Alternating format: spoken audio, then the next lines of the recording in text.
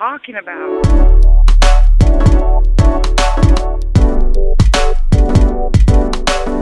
हाँ दोस्तों मैं हृदय और आप सभी का स्वागत करते हैं अपने इस नए एपिसोड में। दोस्तों, आज यहाँ पे हम लोग बात करेंगे Realme X2 के बारे में।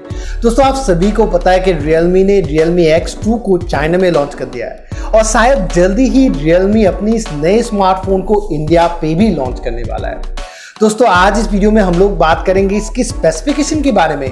चाइना की प्राइस के हिसाब को हम लोग इंडियन वैल्यू पे अप्रोक्सीमेट करेंगे। साथ ही में देखेंगे क्या उस प्राइस पॉइंट में अगर ये स्मार्टफ़ोन लॉन्च हो गया तो क्या उसे खरीदना अच्छा होगा या फिर नहीं उसके बारे में। तो चलिए दोस्तों, शुरू करते हैं।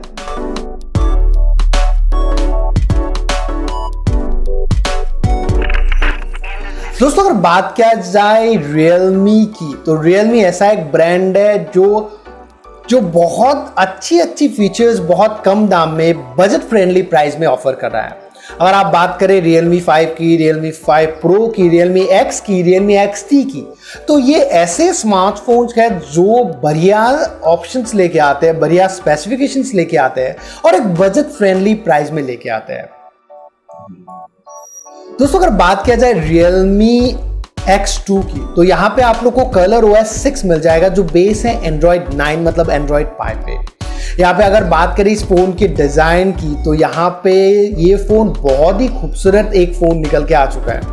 यहाँ पे इसकी डिस्प्ले में आप लोग को 6.4 इंच का फुल एच प्लस डिस्प्ले मिल जाएगा, जो एक सुपर एमोलेड डिस्प्ले है। मतलब बहुत ही बेहतरीन क्वालिटी का एक डिस्प्ले आप लोग को यहाँ पे दिखने को मिलेगा। अगर हम लोग बात करें इस स्मार्टफ़ोन की प्रोसेसर की तो यहाँ पे क्वालकॉम का स्नैपड्रैगन 730G लगाया गया है, जो एक बहुत ही बेहतरीन सा प्रोसेसर है, अगर आप गेमिंग वगैरह करते हो तो। मतलब अगर आप यहाँ पे हाई रिजोल्यूशन पे पबजी वगैरह खेलते हो तो आपको कोई लैग दिखने को नहीं मिलेगा। अगर हम लोग बात करें स्मार्टफ़ोन की रैम की तो आप लोग को सिक्स जीबी और एट जीबी दो रैम ऑप्शन मिल जाएँगे, जहाँ पे आप लोग को 64 और 128 जीबी की दो स्टोरेज ऑप्शन मिलेगा और इस स्टोरेज को आप माइक्रो एसडी कार्ड के ज़रिए बढ़ा भी पाओगे। आगे अगर हम लोग बात करें स्मार्टफ़ोन की कैमरे की तो रियर में आप लोग को चार कैमरा मिल जाएगा, जिसमें से पहला जो कैमरा है, वो है 64 मेगापिक्सल का प्राइमरी कैमरा जिसका एपेचर है f1.8 दूसरा जो कैमरा है, वो है 8 मेगापिक्सल का वाइड एंगल कैमरा तीसरा जो कैमरा है, वो है 2 मेगापिक्सल का डेप सेंसर और चौथा जो कैमरा है, वो है 2 मेगापिक्सल का मैक्रो लेंस मतलब यहाँ पे आप छोटी से छोटी चीज़ों से लेके बढ़िया से बढ़िया फोटोग्राफ आप उठा पाओगे। बात करें अगर वीडियो रिकॉर्डिंग की तो यहाँ पे वीडियो स्टेबलाइजेशन जैसे सॉफ्टवेयर भी है जिससे आप लोग बहुत ही अच्छी तरह से वीडियो रिकॉर्डिंग भी कर पाएँगे। अगर बात किया जाए सेल्फीज की तो यहाँ पे आप लोगों को 32 मेगापिक्सल का एक सेल्फी कैमरा मिलेगा, जिससे आप बहुत ही खूबसूरत, बहुत ही बढ़िया से सेल्फीज उठा पाओगे। अगर हम लोग बात करें इस फ़ोन की कनेक्टिविटी ऑप्शंस की तो लगभग सारे कनेक्टिविटी ऑप्शन जैसे डुअल वॉल्टी ब्लूटूथ वाईफाई सारे कनेक्टिविटी ऑप्शन आप लोग को यहाँ पे मिल जाएगा।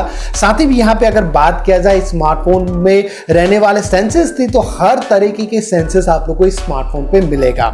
अगर बात करें स्मार्टफ़ोन की बैटरी की तो यहाँ पे आप लोग को 4000 थाउज़ेंड की बैटरी मिल रही है, जो 30 वाट वॉक 4.0 को सपोर्ट करता है। मतलब अगर आप यहाँ पे गेम खेल खेल के बैटरी को ख़त्म भी करोगे तो जल्दी से जल्दी आप इस बैटरी को रिचार्ज भी कर पाओगे। यहाँ पे प्राइस की अगर बात किया जाए तो यहाँ पे चाइना पे जो प्राइस पे लॉन्च हुआ है, उसकी अगर बात करें तो यहाँ पे सिक्स जीबी और सिक्सटी फोर जीबी वाला जो वेरियंट है, उसका प्राइस चाइना में रखा गया पंद्रह सौ निन्यानवे यान की, जिसकी इंडियन वैल्यू करीबन निकलता है पंद्रह हज़ार नौ सौ के आसपास। यहाँ पे अगर बात करें हम एट जीबी और one twenty eight GB variant की तो चाइना में इसकी प्राइस है अट्ठारह की, जिसकी इंडियन वैल्यू करीबन निकलता है अट्ठारह के आसपास। यहाँ पे दोस्तों अगर बात किया जाए स्मार्टफ़ोन की इंडिया पे रिलीज़ की और इंडिया की प्राइस की, अभी तक कंफर्म नहीं है कब तक हो जाएगा, लेकिन अगर ये इसी प्राइस पॉइंट पे लॉन्च हो जाता है, मेरे ख्याल से ये 14 से लेके 18 के बीच में लॉन्च हो जाएगा ये दोनों स्मार्टफ़ोन और अगर इतने ही प्राइस पॉइंट में ये स्मार्टफ़ोन इंडिया पे लॉन्च हो जाता है तो एक बेहतरीन ब्राइड बोला जा सकता है, क्योंकि यहाँ पे आप लोग को डिस्प्ले अच्छा मिल जाएगा फ़ोन की जो क्वालिटी है वो भी अच्छा है प्रोसेसर बढ़िया है बैटरी बढ़िया है कैमरे की तो अब बात करिए क्या ही जानना चाहिए, क्योंकि चार कैमरे अभी तक किसी स्मार्टफ़ोन में आप लोग को नहीं मिल रहा है और बहुत ही बेहतरीन सा कैमरा यहाँ पे निकल के आ रहा है। तो यहाँ पे अगर ये 14 से लेके 18 के बीच में लॉन्च हो जाता है, दोनों ही वेरिएंट तो मेरे ख्याल से एक बेहतर बाय हो सकता है। आप लोग मुझे कमेंट पर बताइए कि क्या आप लोगों को ये स्मार्टफ़ोन अच्छा लगा? आप लोग को क्या लगता है कि क्या क्या रियलमी स्मार्टफ़ोन को इंडिया पे भी लॉन्च करेगा? और करेगा तो कितने प्राइस पॉइंट पे करेगा तो आप लोग खरीदोगे? दोस्तों, आज के लिए इतना ही। आशा करता है वीडियो आप लोग को अच्छा लगा। अच्छा लगा तो लाइक तो कर ही दीजिएगा। अगर देख रही है हमारे फेसबुक पेज पे तो हमारे इस पेज को लाइक कर लीजिए अगर देख रही है यूट्यूब पे तो हमारे चैनल को सब्सक्राइब करके उस बेल आइकन को दबा दीजिएगा ताकि हमारी नोटिफिकेशन आप लोगों को मिलते रहे। दोस्तों, आज के लिए इतना ही। जय हिंद, भारत माता की जय।